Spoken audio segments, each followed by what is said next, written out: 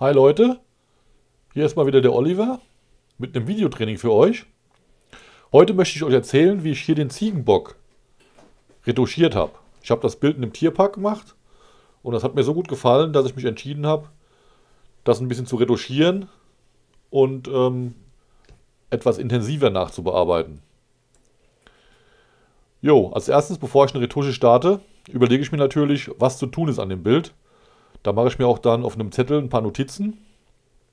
Ich möchte gerade mal durchgehen, was da so alles anfällt.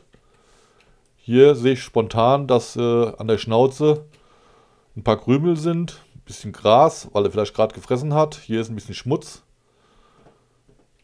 Die Hörner, die könnten nachher mit Abwedler und Nachbelichter noch ein bisschen im Kontrast gesteigert werden. Die Augen sind nicht ganz auf Höhe. Ich habe schon mal im Vorfeld ausprobiert, das linke Auge, von mir aus gesehen, ein bisschen nach äh, oben zu versetzen.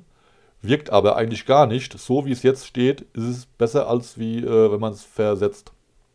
Was auf jeden Fall noch gemacht werden muss, ist die Schnauze ein bisschen zu richten. Also die steht ein bisschen schief nach vorne links und die muss dann dem verflüssigen Dialog etwas nach rechts geschoben werden.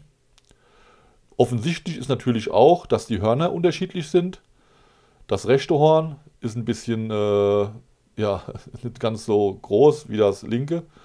Das heißt, hier müssen wir das Horn komplett freistellen und dann mit dem Formgitter transformieren, so dass es auf derselben Höhe ist wie das linke Horn. Also werde ich jetzt anfangen, erstmal das Bild ein bisschen zu säubern mit einer äh, einfachen Retusche, die ganzen Krümel und so rausmachen. Dann werde ich das Horn freistellen und dann später mit Abwitter und Nachbelichter die Hörner noch ein bisschen in dem Kontrast steigern. Okay, ich werde jetzt anfangen. Zur Hilfe nehme ich mein ähm, Digitaltablet und meinen Stift. Äh, ich möchte nur anmerken, dass das Tutorial natürlich für Fortgeschrittene ist. Ich werde jetzt also nicht erklären, was eine Ebene, was eine Ebene oder eine Einstellungsebene ist oder was ein Formgitter ist. Äh, ich gehe davon aus, dass das dann schon der Fortgeschrittene schon weiß.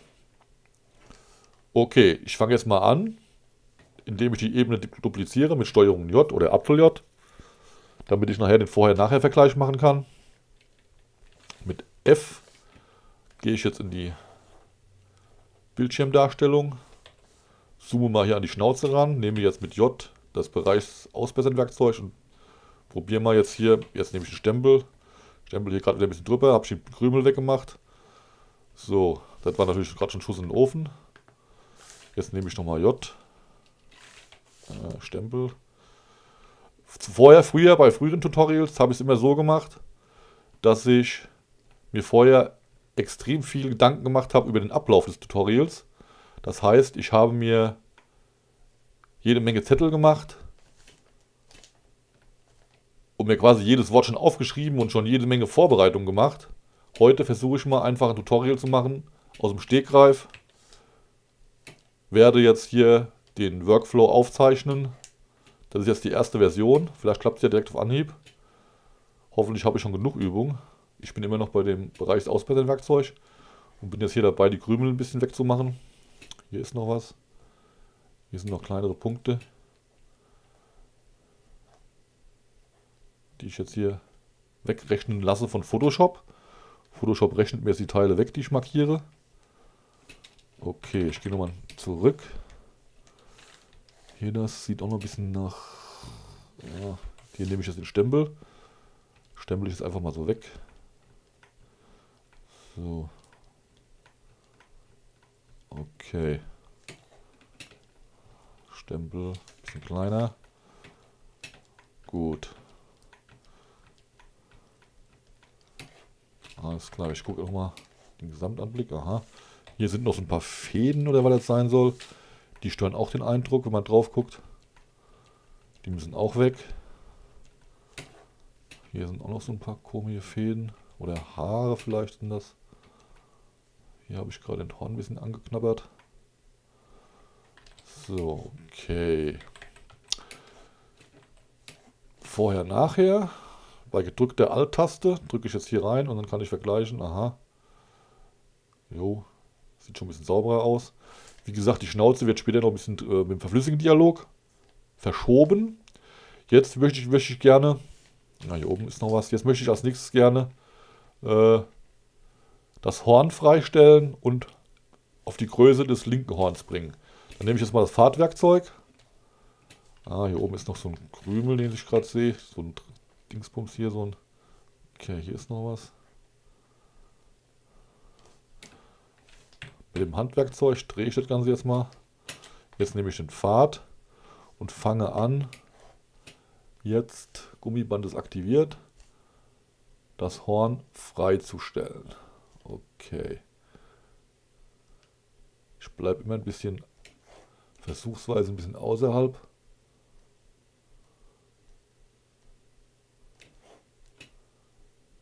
Gehe noch ein bisschen näher ran. Okay.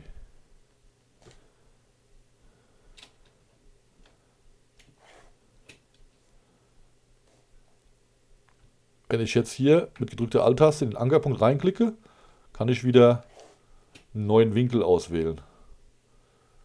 Klassischer, klassischer Problemfall, wenn man zum ersten Mal mit dem Pfad arbeitet und man will die Richtung ändern, steht man auf einmal da und weiß nicht, verdammt, warum kann ich nur Kurven ziehen, wieso kann ich jetzt nicht einfach die Richtung ändern. Ich klicke jetzt wieder hier rein, komme wieder gerade, gerade raus aus dem Ankerpunkt.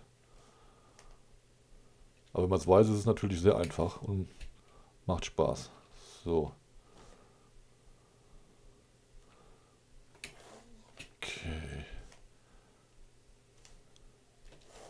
Dauert jetzt natürlich ein bisschen länger. Hier ist auch noch ein Krümel, den kann man ja nochmal wegmachen.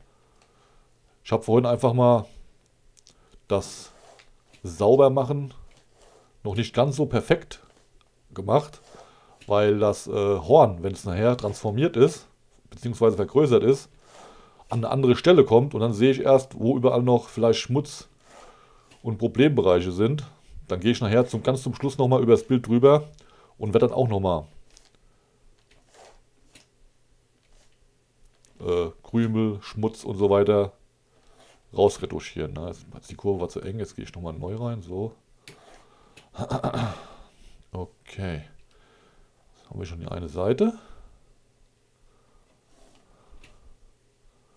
Gehe ich einfach mal hier so in die Ecke, bleibt im Dunkeln verborgen nachher. Gut.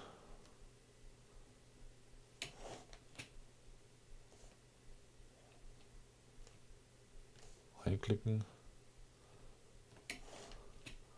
Mit gedrückter Shift-Taste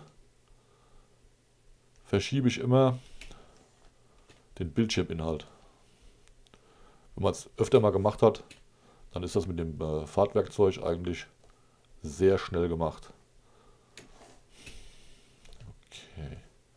Hier sieht man auch schon diverses Farbrauschen. Ich habe eine relativ alte Kamera genommen. Da sieht man dann Violett- und Grünrauschen in den Tiefen. Soll aber hier gar nicht stören.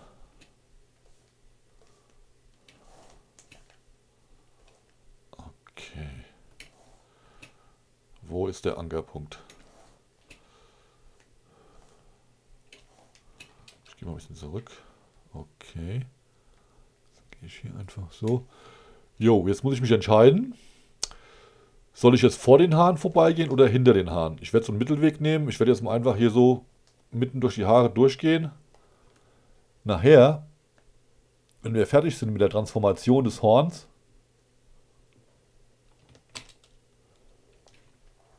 muss ich nämlich noch Haare dann wieder ranmalen. Jetzt sehe ich schon kommen, dass dann also die Haare sich verschieben oder verschwinden oder so. Da muss man dann mit, der, mit einer richtigen Pinselspitze Haare dran malen.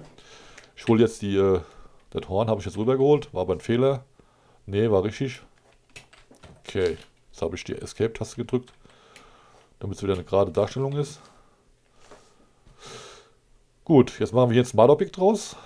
Rechte Maustaste, ins Smart Objekt konvertieren und gehen dann ins Formgitter. Wichtig hierbei, ich habe es im anderen Tutorial auch schon gesagt, dass man die Ausbreitung erhöht. Ich nehme mal 20, 25 Pixel und kann jetzt loslegen, an dem freigestellten Horn meine Punkte zu setzen. So, habe ich zwei Punkte gesetzt. Jetzt ziehe ich mal einfach spaßhalber hier dran. Aha, da bewegt sich schon was. Gut. Okay, jetzt nehme ich mir mal eine Hilfslinie, damit ich weiß, wie weit ich runter muss mit dem neuen Horn oder mit dem freigestellten Horn. So. Schnapp mir nochmal den Anfasser hier. Punkt. Guck da nochmal genau. Aha.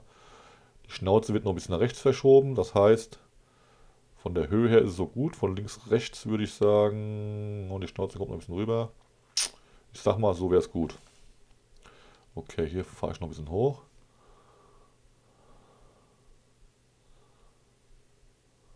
Okay. Hm. Doch, so wäre es okay. Ich bestätige das mal jetzt. Jetzt hat man natürlich das Problem, dass im Hintergrund das alte Horn rausschaut. Kein Problem, das ist der nächste Schritt. Das muss jetzt retuschiert werden. Da können wir einfach den Stempel nehmen. Ich nehme jetzt den Stempel und werde jetzt hier einfach das alte Horn verschwinden lassen. Das mache ich jetzt ganz grob schlechtig, indem ich einfach mal so darüber wurstel. Nachher oder gleich werde ich mit Abwedler und Nachbelichter noch ein bisschen Struktur reinmalen. Das heißt, so noch ein bisschen leichtes Licht in dieses, in dieses schwarze Loch hier reinmalen, damit auf jeden Fall das echt aussieht. So.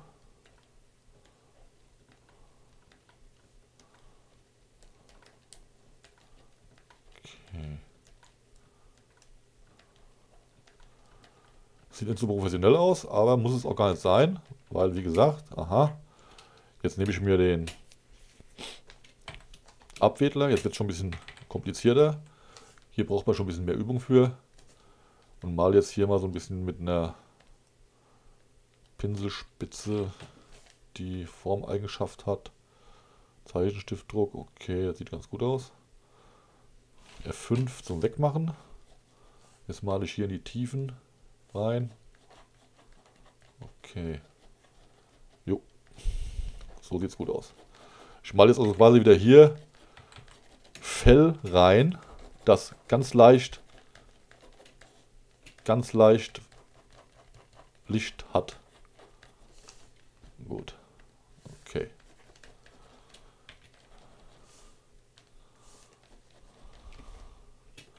Mal ein bisschen zu viel.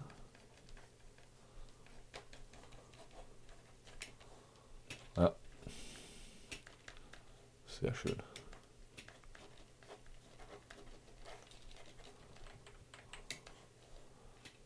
Gut. Vorher, nachher. Aha.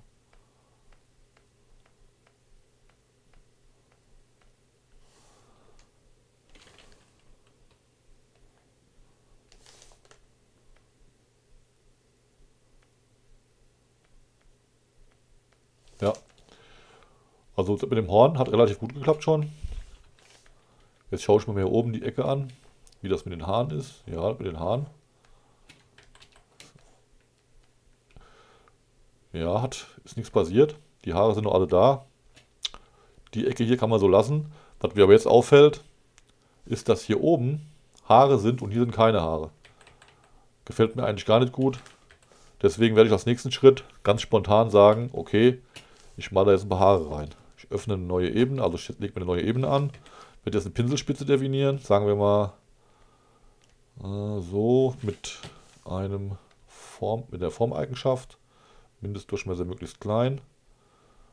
Weichheit muss ich ausprobieren. Ich fange mal an mit so 50% Härte und mache jetzt mal einen Strich.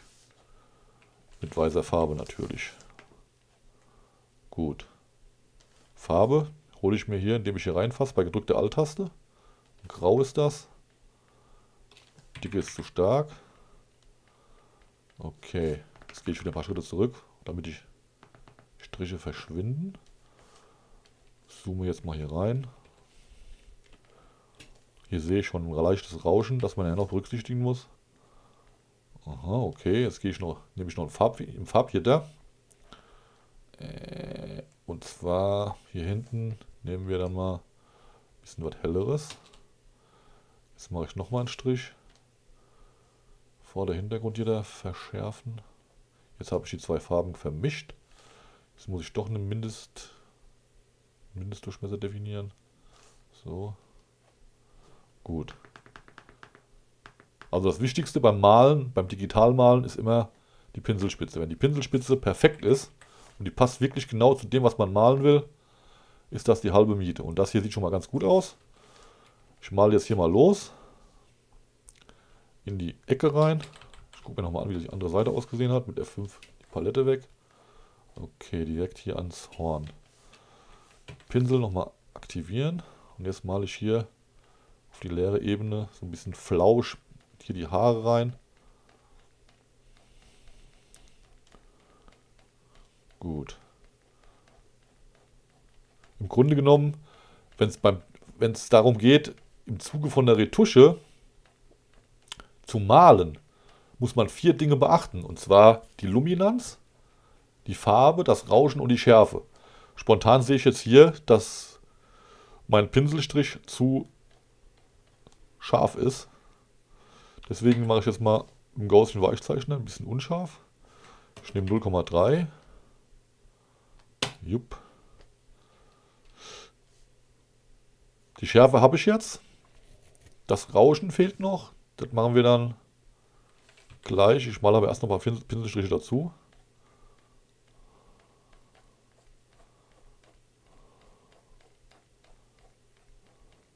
Wobei, ich habe einen Fehler gemacht. Ich gehe nochmal einen Schritt zurück. Und zwar Protokoll. Hm, hier, da muss ich nochmal hin. Davor, genau, weil ich muss hier noch was dran malen. Jetzt öffne ich nochmal eine weitere, lege ich nochmal eine weitere Ebene an, lege die unter die andere. Jetzt male ich nochmal ein paar Pinselstriche unter die Haare, die ich schon gemalt habe. Gucken wir mal von weitem an. Aha. Müsste noch ein bisschen dichter sein, also in der Nähe vom Horn werde ich jetzt noch mal ein bisschen mehr reinmalen. Ist ja unten drunter. Okay.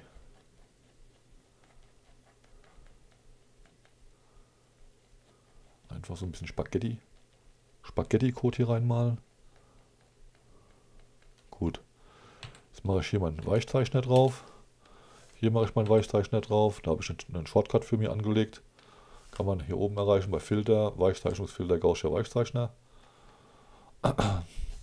Okay, die zwei Ebenen fasse ich jetzt mal zusammen, ganz keck, oder beziehungsweise das könnte ich erstmal probieren mit dem. Nein, jetzt habe ich die falsche Tastenkombination gedrückt. Jetzt holt ihr mir den Nickfilter. So, den breche ich jetzt gleich wieder ab. Ich wollte nämlich diesen Shortcut haben für das Rauschen. Monochromatisch lasse ich mal weg. Jetzt habe ich eine Farbe drin.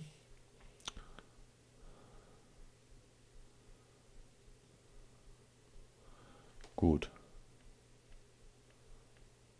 Okay, das gefällt mir ganz gut. Hier mache ich auch eine Farbe drauf. Jetzt habe ich diesen beiden Ebenen ein Farbrauschen verpasst. Ich fasse die erstmal zusammen. Was ich vorhin gesagt habe, bezüglich Schärfe, Rauschen, Luminanz und Farbe passt jetzt die Schärfe und das Rauschen.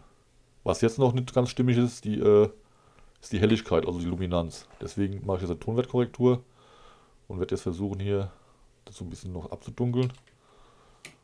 Von weitem mal angeguckt. Ja, da liegt so ein bisschen im Schatten von dem Horn. Ich sag mal, so wäre es okay. Von weitem. Jo. Vorher, nachher. Mal ranzoomen. Ja, kann man jetzt mal so lassen für. Also man kann es natürlich noch ein bisschen besser machen. Die sind vielleicht ein bisschen Tacken zu dünn, ja. Ihr kriegt das bestimmt besser hin. Da muss die Pinselspitze vielleicht ein äh, Pixel größer sein. Aber ich spare mir das mal. Im Prinzip kann man es schon so lassen. Soweit, so gut. Jetzt fällt natürlich auf, dass die Schnauze schief ist. Alles andere ist symmetrisch. Und hier unten gucke ich hin. Aha, die Schnauze ist äh, asymmetrisch. Hier diese an der Nase, hier die an der Schnauze. Die senkrechte ist auch schief. Die gehört so auch nicht hin. Da gehen wir jetzt mal mit dem verflüssigen Dialog ran und versuchen das Ganze ein bisschen, Entschuldigung, ein bisschen auszurichten. Shift Apfel Control, damit kann ich die Größe verändern. Jetzt schiebe ich das Ganze hier mal ein bisschen gerade. So. Jetzt muss ich natürlich auch aufpassen, wenn ich jetzt die Schnauze hier ein bisschen schiebe, habe ich natürlich die ganzen Pixel hier verschwommen. Ich darf jetzt natürlich nur ganz moderat von dem Werkzeug Gebrauch machen. Hier kann ich es ein bisschen aufpolstern. So. Hier unten gehe ich so ein bisschen. Ähm, so, dass die Schnauze schön akkurat aussieht. Ich bestätige mal, schauen wir es an. Vorher, nachher. Ah. Also, ich neige jetzt dazu, das so zu lassen. Wenn ich jetzt, ich sag mal, der hat ja hier die ganzen schiefen Linien drin. Und wir haben die Linie jetzt hier, ich mache mal die Blitzlinien an. Die haben wir jetzt begradigt. Der hat jetzt hier im Scheitel, ah, ich könnte noch ein bisschen, könnte ich noch rüber. Mache ich nochmal eine Auswahl. Probiere nochmal hier diesen Bereich mit der senkrechten noch ein bisschen leicht zu begradigen, noch ein bisschen rüberholen, dass es genau in der Flucht ist. Ja, jetzt bin ich fast in der Flucht hier mit, der, mit dem Scheitel. Hilfslinien aus, Steuerung H. Jo, damit kann ich jetzt schon mal ganz gut leben.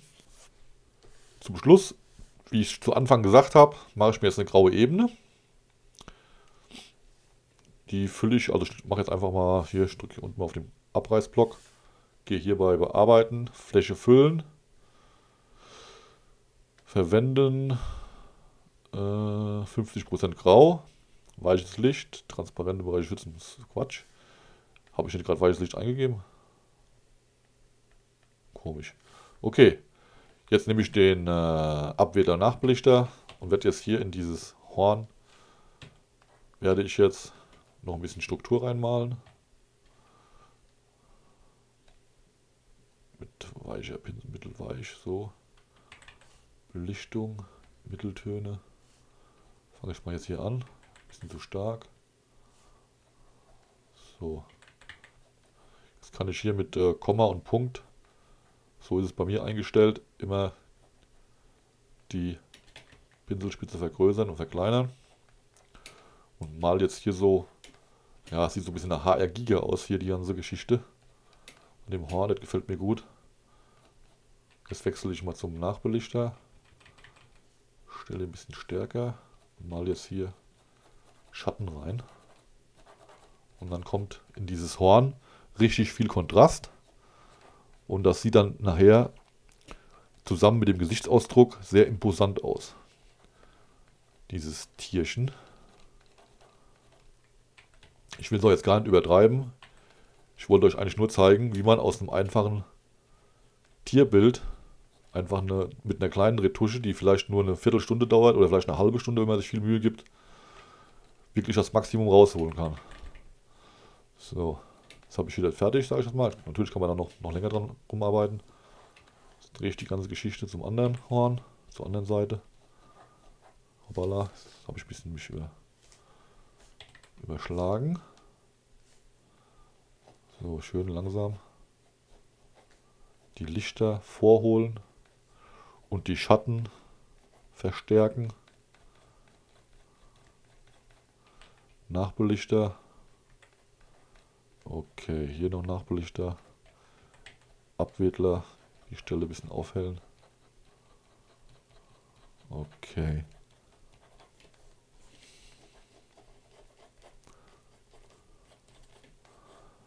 So. Escape-Taste. Vorher, nachher. Ja, das kommt sehr gut nach vorne. Das Ganze sieht richtig schön plastisch aus jetzt. Jetzt gehe ich nochmal hier in den ans Horn ran, an die seitlichen Hörner besser gesagt. Hole auch nochmal den Abwedler rein und werde hier nochmal die Lichter betonen.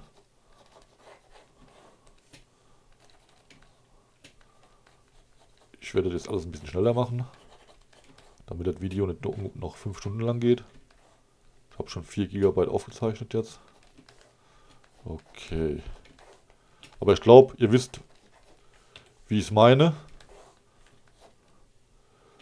damit so ein Bild jetzt richtig knackig aussieht, fehlt immer noch Kontrast am Schluss. Da gibt es natürlich auch Filtertechniken für, was ich jetzt hier mache.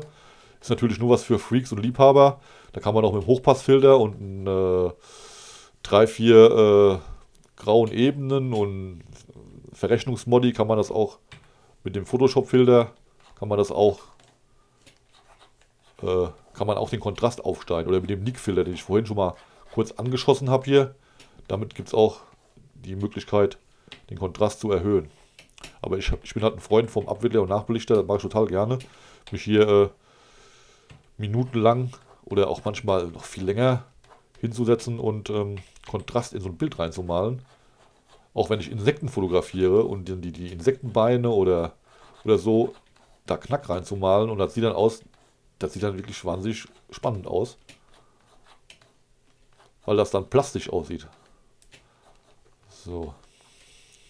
Okay. Nochmal mit dem Nachbelichter ein bisschen abdunkeln. So. Alles was dunkel ist, ein bisschen betonen. Okay. Jetzt gucke ich mir das nochmal an, vorher, nachher.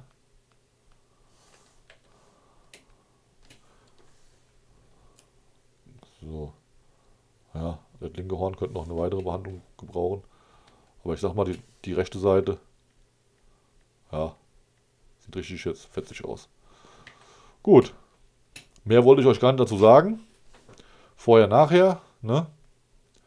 So sieht es vorher aus. Imposant, aber im Detail noch ein bisschen äh, ja, verbesserungswürdig. Und so sieht es nachher aus. Das Ganze dauert dann, wie lange habe ich das aufgenommen? Ich habe erst eine halbe Stunde aufgenommen. Wenn ich das so alleine mache, dann dauert es vielleicht 15 Minuten, bis ich hier einmal komplett durch bin mit dem Horn und so weiter.